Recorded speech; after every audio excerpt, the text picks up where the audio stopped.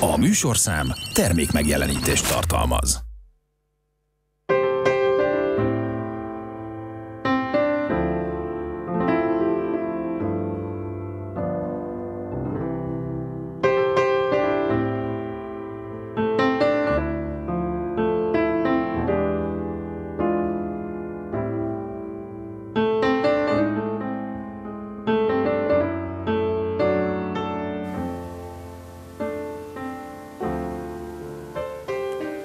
Szép estét kívánok, köszöntöm a Fehérvári Beszélgetések nézőit. Nos, ma rendhagyó módon egy Mária, Márai Sándor idézettel kezdeném ezt a beszélgetést. A zene a legnagyobb kerítő, a legveszedelmesebb csábító. Az értelem szűkülni kezd, mikor zenét hall. A zene értelem ellenes. Nem megérteni akar, mint az értelem, hanem szétáradni, feldúlni, lefegyverezni, elcsábítani, megérinti bennünk a titkosat és fájdalmasat, feltárja azt, amit oly gondosan rejtettünk magunk elől, minden eszközzel fegyelmeztünk, olyan, mint a tavaszi vadvíz, feldúlja az értelem által aggályosan parcellázott, megművelt és megmunkált, szabályozott és fegyelmezett területeket. Ahova a zene kiáradott, az értelem törvényei nem érvényesek többé. A gyönyörűségben, melyet a zene ad, a halálvágy kélyes megsemmisülésének beteg érzései is hullámoznak mert a zene támadás. Márai Sándor így fogalmazott a zenéről, és természetesen ma zenéről fogunk beszélgetni, vendégem pedig Dobszai Meskó Ilona karmester, Elker Ferenc díja zeneszerző. Tisztelettel köszöntelek. Szervusz. No, hát ahhoz, hogy megértsük és megismerjünk azt a pályafutást, amit magadénak valhatsz, el kell mennünk a civis városba, hiszen ez nagyon-nagyon fontos időszak egy emberfia életében, egy kicsi lány életében, hiszen Debreceni vagy ős Debreceni, aki átélt mindazt, amit, ami nagyon-nagyon fontos a jelenben is. És ráadásul a családi indítatásod sem elhanyagolható, hiszen édesapád és édesanyád is segítette azt az utat, amit bejártál mostanáig. Így van. Debrecenben születtem, de nem vagyok annyira ős debreceni, hiszen a Édesapám kárpátaljai, édesanyám pedig egy Szabolcs-Szatmár Bereg megyei faluból származik, tehát ők a házasságkötésükkor 78-ban költöztek Debrecenbe, úgy döntöttek, hogy ebben a városban szeretnének élni. Úgyhogy sem, sem a, a város történetét nem ismertem igazán gyermekkoromban, tehát nem volt belémoltva a debreceniség, és elég hamar el is kerültem Debrecenből. Tehát egy nagyon szép emlék, egy nagyon szép ö, ö, indítatás természetesen, és így módon kötődöm is a városhoz, ahogy minden gyermek kötődik ahhoz a városhoz, ahol, ahonnan elindult, de ö, gyakorlatilag Budapest lett az igazi otthonom. Viszont az indítatást Debrecenben kaptad, hiszen a Simon Felmél zeneiskolába jártál, és azt hiszem, hogy azért az nagyon-nagyon fontos, hogy aztán később lépcsőfokról lépcsőfokra haladj. Milyen impulzusok értek az első időszakban? Az óvodás évek után teljesen biztos volt, hogy valamilyen művészi hajlam bujkál bennem, úgyhogy balettoztam, zongoráztam, nagyon jó zeneiskolám volt, Laskai Edith volt a zongoratanárnőm, nagyon hamar elkezdtem zenét szerezni, mindenki támogatott benne, főleg a család természetesen, és, és Editke nagyon ö, ö, ö, erősítette bennem azt, hogy, hogy, hogy ezt csináljam, csak úgy, hogy engedte, hogy a zongora vizsgákon saját darabból vizsgázzak, és, és elég hamar elküldött a szakiskolába Darányi Lajoshoz, tehát előkészítőbe kerültem a, a Vár utcai zenedébe. Ideje korán kiderült, hogy tehetséges vagy. A tehetség és a szorgalomnál kézen fogva járt? Hiszen ahhoz, hogy valaki elinduljon egy úton, ahhoz még nem elég önmagában a, a szorgalom, nyilván kell hozzá tehetség is, és fordítva is igaz ez. A szorgalom leginkább most jellemző rám. Tehát felnőtt koromra értettem meg, hogy hogy mit jelent az, hogy, hogy, hogy annyi energiát fektetek valamibe, és, és még többet, és még többet, mint amikor már azt hinném, hogy elég. ez gyerekkorban nálam nem volt meg. Nagyon elkalandozott a figyelmem. Tehát ő úgy megvolt a szorgalom, hogy nagyon sok, a legtöbb időmet a, a, a művészi tevékenységbe fektettem természetesen. Tehát nem lógtam a többi osztálytársal, tehát, tehát folyamatosan ezt csináltam, de nagyon szertágazó volt a, a tevékenység. Tehát ugyanannyit rajzoltam, mint amennyit zongoráztam, meg mint amennyit kitaláltam. És, és körülbelül ezzel arányosan azt mondom, hogy fele ennyi időt pedig álmodozással és ablakon kifele nézegetéssel töltöttem. Milyen álmaid voltak? Hiszen tudjuk, hogy, hogy egy ifjú hölgynek azért vannak álmai, amelyek vagy megvalósulnak, vagy sem. Ha így visszatekintünk, akkor én azt gondolom, hogy a te álmaid megvalósultak zömmel, hiszen kezdve attól, hogy a zongorát választottad hangszeredül, és tényleg a zong, miért a zongora volt az első számú hangszered? Hát mert otthon volt egy nagy zongora. És igazából nem is volt opció, hogy hegedű, vagy fuvola, vagy bármi. Tehát, hogy, hogy úgy azt ütögettem. Nem, ez teljesen természetes volt. Úgy, ahogy a zene, úgy azon belül a zongora is. Az álmaim, amikor az elkalandozásról beszélek, az nem ilyen fajta volt, hogy, hogy álmodoztam valamiről, hogy majd mi leszek, hanem egy, egy folyamatos képzelgésben voltam. Nagyon kevés időt töltöttem a realitásban, ami az iskolában azért elég komoly probléma volt. Nyilván középiskolában elsősorban, hiszen... Nem, nem, nem. Ja, ott már nem. Már ott a Zeneművészeti Főiskolán is? Nem, nem, nem. Ez gyerekkorban. Ez Tehát gyerekkorban? amikor, amikor egy tanítónéni feladatokat ad, és csak azzal lehet foglalkozni, és fogalmam nem volt, hogy hol vagyok, milyen óra van, mit kéne csinálni, mert nem ott voltam. Tehát ez, ez csak gyerekkoromban ő, volt valamennyire probléma, később már nem. Tehát tudatos lettél ideje korán. Igen. Azért ez nagyon fontos Igen. pillanat. Ő manapság talán az ilyen gyerekekre azt mondják, hogy ADHD-s, vagy nem tudom. Nem biztos, de ennyire nem értek hozzá, de, de azt hiszem, hogy túl hamar ítélkeznek olyan gyerekek fölött, akik nem tudnak így ott lenni a jelenben, a pillanatban. Én azt hiszem, hogy ilyen voltam. De talán, talán nem lennék zeneszerző, hogyha nem ilyen lettem volna. Tehát, hogyha több időt töltök a realitásban, akkor, akkor lehet, hogy nem merek elindulni azon az úton, hogy, hogy folyamatos kreációban, kitalálásban legyek, mert ahhoz kell egy ilyen máshol levés. Igen, tehát te nem azok közé tartoztál, akik kétségbe esettem mímelik azt, ami másokból úgy fakad, mint a virág. Nem, nem. Nem. A tudatosság nagyon fontos. Nyilván, amikor az zongora szakot választottad első körben, az egy meghatározó pillanat volt. Ahhoz viszont kellenek olyan tanárok, olyan, olyan segítők, akik azt mondják, hogy igen, a tehetség utat tör magának úgy is, de ahhoz kell a felkészültség, a teljes odaadás, uh-huh. és száz százalékban kell ott lenni. Veled így történt? Nagyon-nagyon sokat gyakoroltam, igen. Tehát én az ongorázásba rengeteg energiát fektettem. Ő nagyon jól is megy, nagyon szeretek zongorázni, de én nem, vagy, nem vagyok zongoraművész, és ezt én már gyerekkoromban tudtam, hogy nem leszek zongoraművész. De ez nem szekte kedvem. Ő, ez az oktávot alig érem át.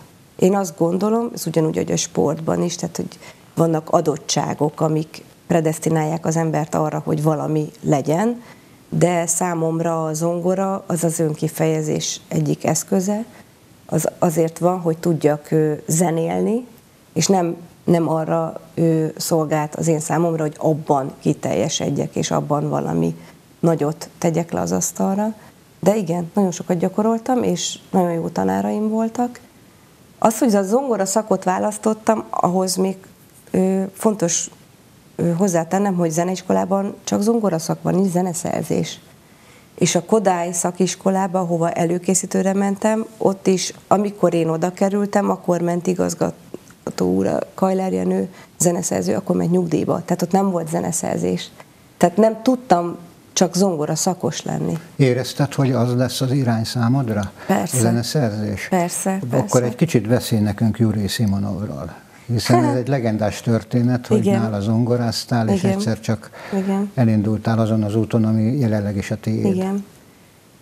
Ö, egy, egy kis kanyart teszek ez elé, mert mielőtt, mert most nyilván azért kérdezett, hogy hogyan lettem én karmester, de azért elé tenném azt, hogy én gyerekszínész voltam, és, és én színésznő szerettem volna lenni.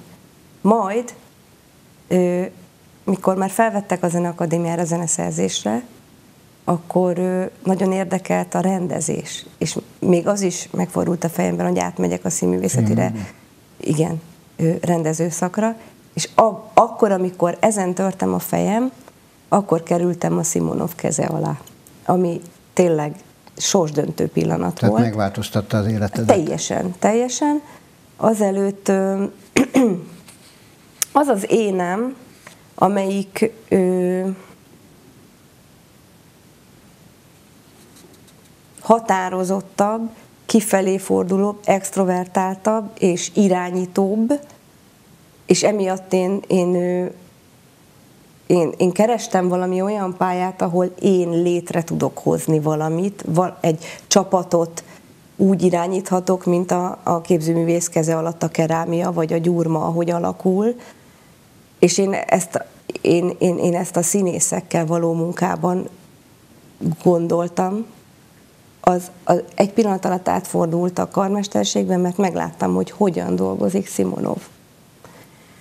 Úgy kerültem oda, hogy a Filharmónia kiválasztott zongoristának a Simonov kurzusára, és akkor azelőtt még Simonov tartott egy meghallgatást, és akkor elém rakott valami partitúrát, Schumann Manfred nyitányt, és elkezdett vezényelni, és hogy én azt zongorázzam el. Hát fogalmam nem volt, hogy mit mutogat, nem értettem ezeket a mozdulatokat, Iszonyatosan kétségbe estem, hogy hát én itt nem fogok megfelelni, de nagyon jól sikerült ez a meghallgatás, akkor felvett zongoristának, és figyeltem ezeket a vezénylés órákat.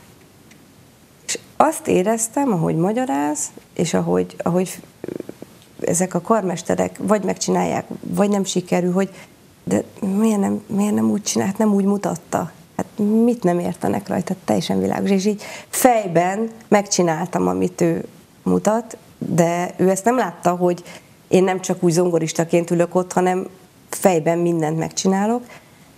És megkérdeztem tőle, hogy én ezt nem próbálhatnám meg ki. Na de én úgy értettem, hogy csak úgy neki. És akkor mondta, hogy jó, hát akkor holnap, nem tudom ezt miért csinálta. Tehát ezt nem is értem azóta se. Mondta, hogy akkor reggel tízkor Liszt Wagner zenekar, Csajkovszki, öt tessék parancsolni. És ez megerősítést jelentett nyilván. Hát de, Bár nem egy is útnak értem. az eleje volt Hát mindenképpen. ez, így utólag ez teljes nonsens. Én nem is engednék oda valakit így zenekar elé. Hát, tehát ahhoz nagyon sokat kell bizonyítani egyéb fronton, hogy az ember azt mondja, hogy, hogy az illető fiatal kollega próbálja meg. Bedobott, nagyon jól sikerült, és akkor, akkor azt éreztem, hogy most érkeztem meg, most csinálom azt, amit én, amire én születtem. Ezt, ezt, ezt éreztem. Nem biztos, hogy mások is így gondolják, most ez az én szempontomból tulajdonképpen lényegtelen. Most csak a kérdésre válaszolok, hogy ott velem mi történt. Velem ez történt. És a akkor. zeneszerzésben szintén voltak olyan látszólag kutak, amelyeket eh, el kellett, hogy kerülj. Olyan problémák, amelyek, eh, hiszen azt tudjuk így utólag, hogy egyenes utad volt mindenféle értelemben. Igen. Tehát ugye kiskorom óta szereztem zenét, tényleg még amikor nem tudtam kottát írni, már akkor is szereztem zenét, és amikor a Zeneakadémiára kerültem, akkor volt egy, egy megtorpanás, mert elég erős befolyás alatt voltunk stílust illetően. Tehát két, két felé volt szakadva maga a tanári kar is, és nagyon nagy súlyt fektettek arra, hogy ki kihez ment tanulni. Tehát volt egy úgynevezett modernebb irány, meg volt egy úgynevezett klasszikusabb irány. Ezek nagyon-nagyon hibás fogalmak. De ez már, már ott rossz az egész, hogy ezt így egy 18 éves embernek el kell dönteni. Ez, ez nagyon-nagyon káros. Nyomás alatt voltunk. Tehát ez nem csak velem történt, másokkal is történt, hogy alig tudtunk alkotni. De tényleg, tehát egy, egy tanév alatt egy négy perces darabot úgy hoztam össze, hogy, hogy, hogy vérverejtékkel, álmatlan éjszakákkal. Tehát volt egy megtorpanás. És amikor ö, ö, ö, ebből ki tudtam jönni, azóta tulajdonképpen egy, egy nagyon-nagyon egyszerű, magától értetődő út számomra a zeneszerzés. Tehát a kortárs zeneszerzés mindenek felettisége azért már, már működik. Lásd, itt van az Alba Regia Szimfonikus Zenekar. Erről beszélgettünk még itt a műsor előtt, hogy a kortárs zene elfelejtődött valamilyen szinten, és most, hogy Dobszai Péter róla beszélünk, hiszen a lelked jobbik feléről van szó, és Dobridani megérkezésével fajsúlyos darabok kerültek színre, és én azt hiszem, hogy ezt üdvözölte a Székesfehérvári klasszikus zenerajongó csapat is, most már vannak bőségesen. Tehát ez nálad mindig párhuzamot alkotott a kortárzene, illetve a, tehát a zeneszerzés szempontjából, illetve a karmesterség. Igen, igen, igen. De miként lehet összefüggést találni, miként lehet a klasszikust ötvözni a kortárzenével? Két különböző személyiség vagy? Ilyen értelemben? Vagy aki zeneszerző, az önmagában és karmester, az csak a zene élteti, csupa nagybetűvel mondjuk? Nagyon különbözik a két tevékenység egymástól. A, a zeneszerzés egy, egy nagyon-nagyon magányos műfaj. És van egy, egy melankolikus, introvertált ö, ö, énem, amit, amit ebben, eb, ebben élek ki. Tehát ő, ahol van idő, sőt, ahol megszűnik az idő, ahol az a gyerek, aki bámult kifelé az ablakon, és, és egy másik dimenzióban létezett, az, az most is megvan bennem. És nem kellett eldobnom a mai világ elvárása szerint, ahol, ahol mindig ö, ö, a pillanatban kell lenni. Szóval a zeneszerzés az, az számomra egy varázsvilág. Minden megszűnik, és, és, és azokat a gondolataimat és érzéseimet, amiket az életemben megélek, azt, azt a szűrőmön át ki tudom fejezni.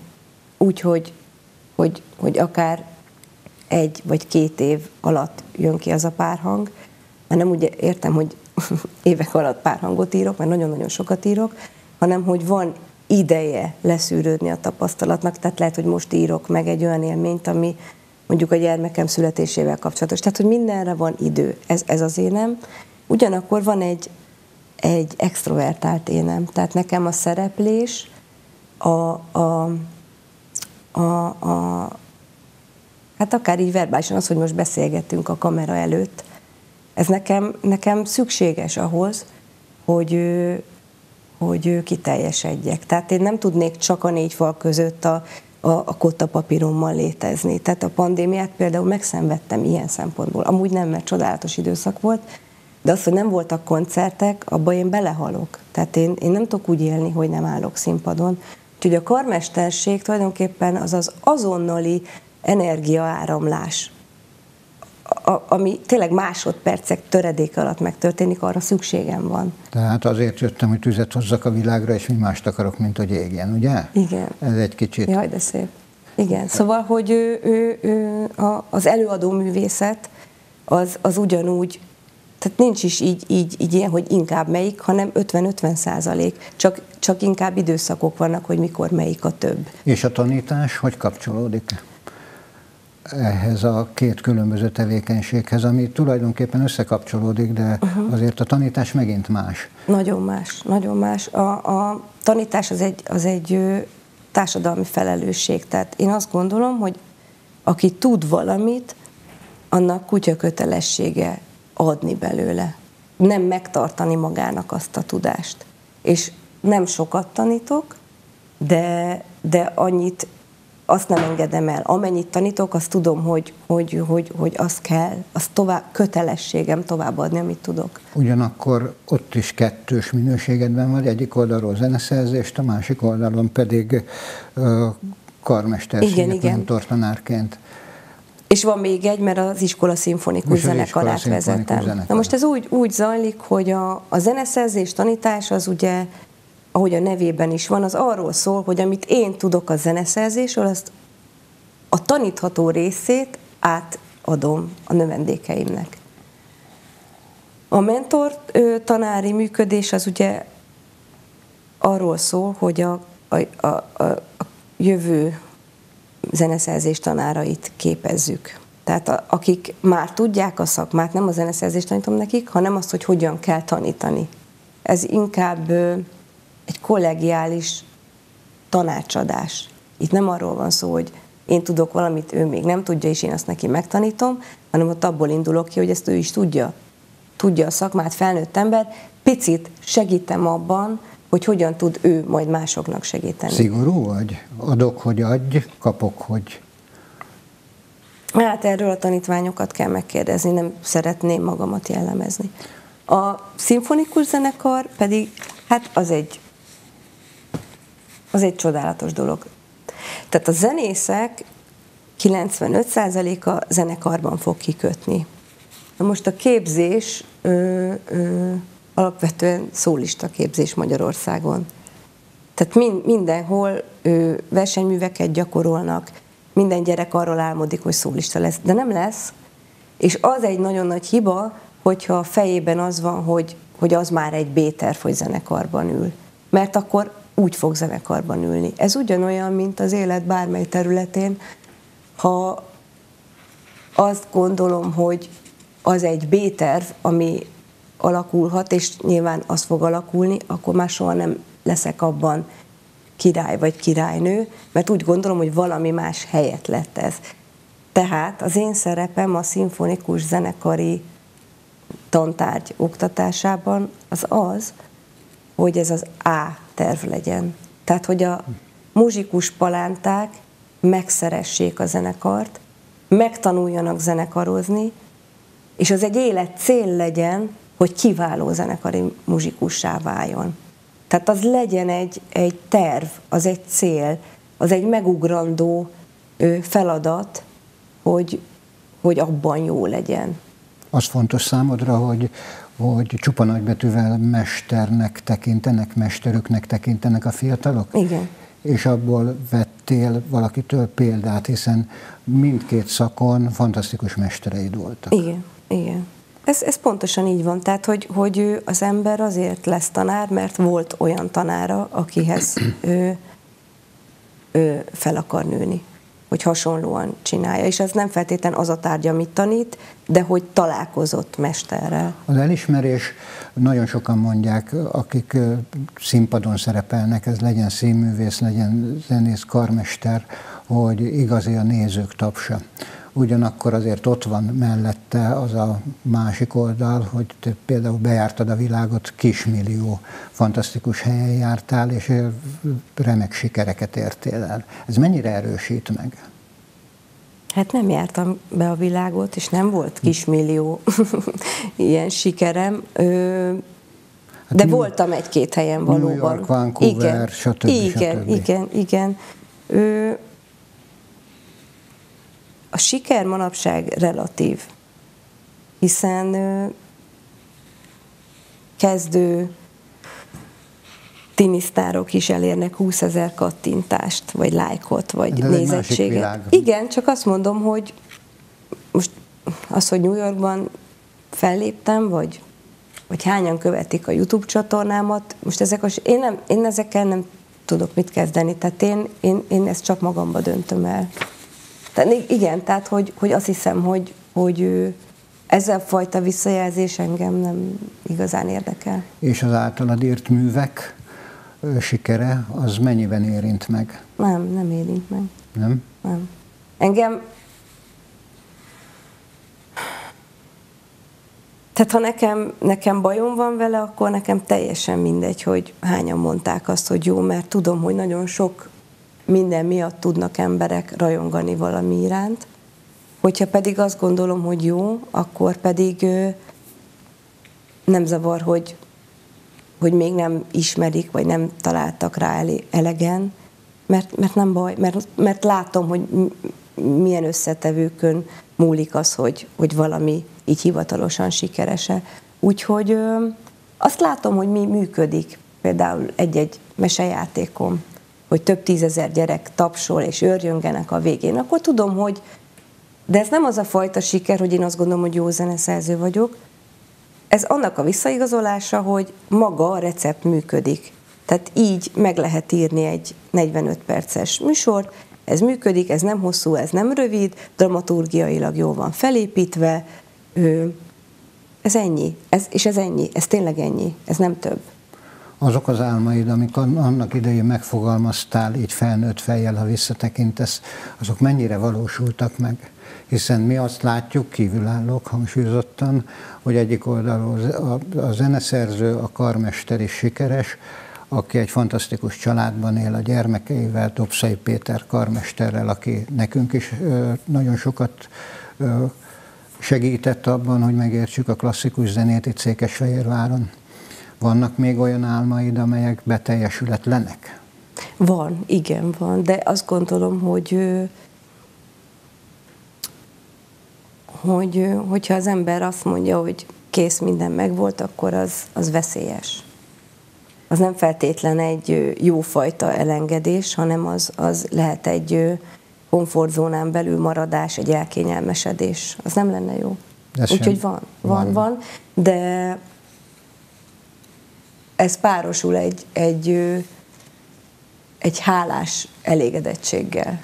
Tehát, hogy nagyon jó vagyok a dolgaimmal, nagyon elégedett vagyok, de de mindig ki van tűzve a, a cél, tehát megyek az úton tovább. Tehát határozott jövőképed van. Nagy, igen, igen, de ez nem azért van, mert elégedetlen vagyok, csak azért, ez azért van, mert kell a, kell a cél, kell a kihívás. Tehát szükségem van a kihívásra. Mire készülsz most?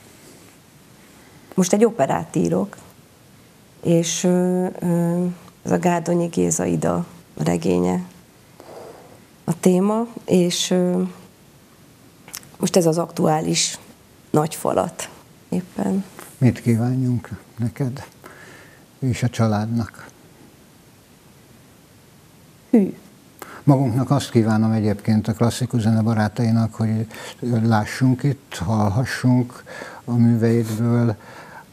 Gondolom, hogy ez bekövetkezik nyilvánvaló, de egyébként. Hát nagyon szépen köszönöm. Um, kívánjatok nekem ö,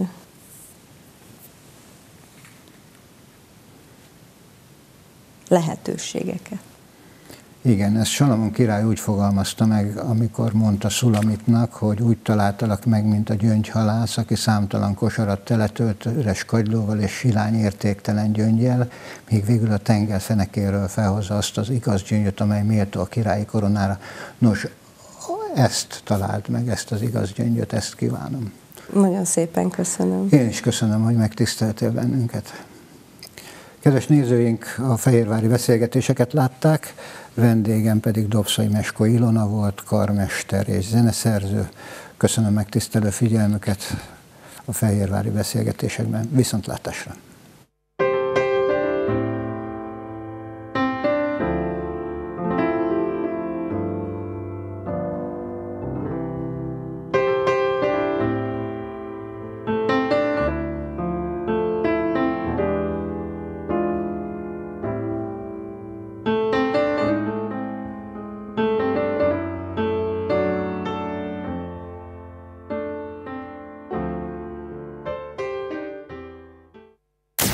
Műsorszám termék megjelenítést tartalmazott.